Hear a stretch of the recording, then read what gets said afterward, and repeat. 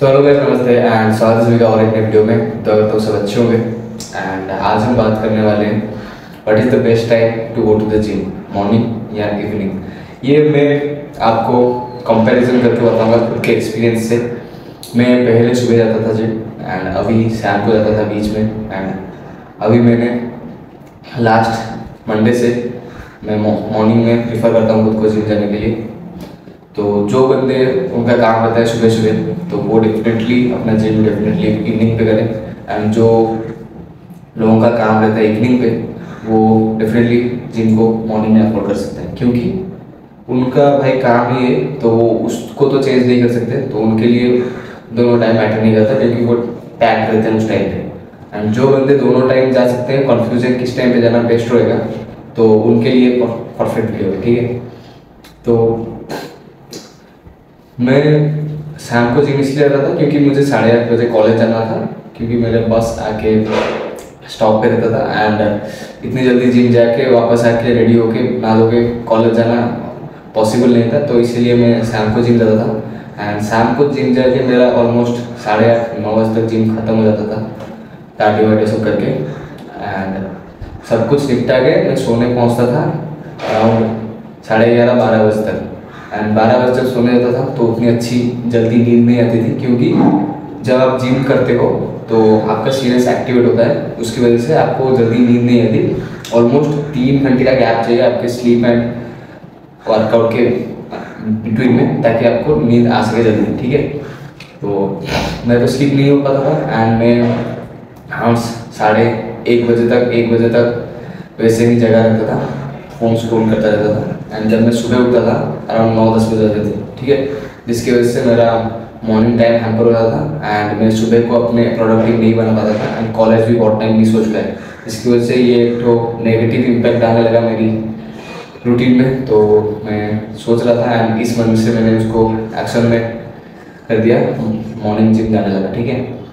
तो morning gym जाने से फ़ायदा ये है कि मेरे हाथ में ज़्यादा पाँच घंटे रहते हैं। मैं अभी छः बजे जिम जाता हूँ एंड जब मैं सो के उठता था तो वो दस बजे थे। अराउंड चार घंटे का गैप रहता था। तो इस चार घंटे में अपना जिम खत्म करता हूँ, अपना ब्रेकफास्ट लेता हूँ कॉलेज भी जाता हूँ।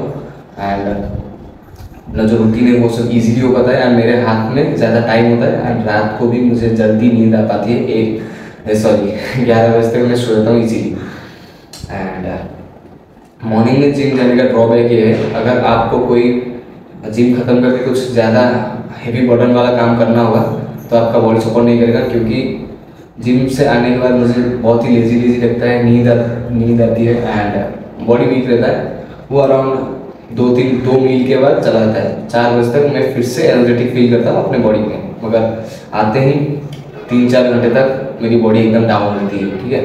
अगर ये मैं बिना प्री वर्कआउट के बता रहा हूँ प्री वर्कआउट वाला सब क्या जा रहा होगा मुझे पता नहीं, क्योंकि मैंने कभी प्री वर्कआउट आज तक यूज़ नहीं किया है। सो ये था।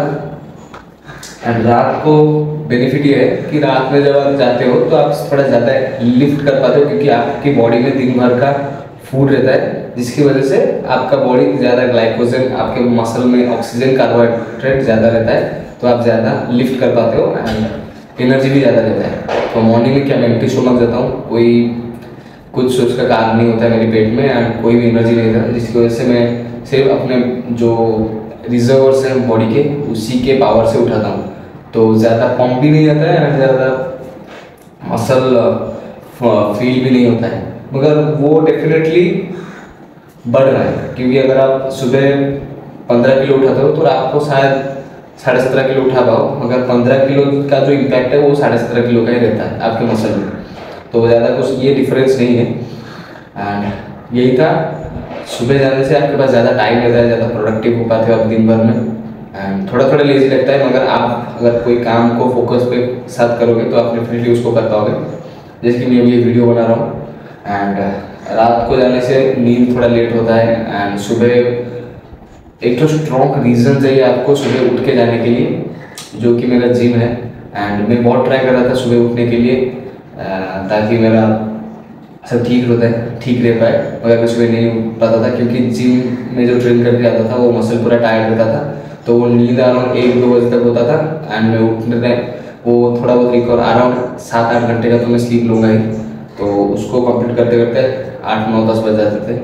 तो वो एक पॉजिटिव साइन नहीं था मेरे लिए, उसकी वजह से मुझे चेंज चेंज करना पड़ा। और क्या? सेम अगले मंडे से वीडियो आने चालू हो जाएँगे।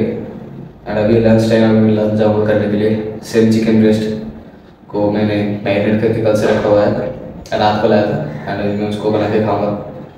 तो यही था आज का वीडियो अगर वीडियो अच्छी लगी तो लाइक करो कमेंट करो। एंड अपने दोस्तों के साथ शेयर करो अगर वीडियो अच्छी लगी हो। Have a great day peace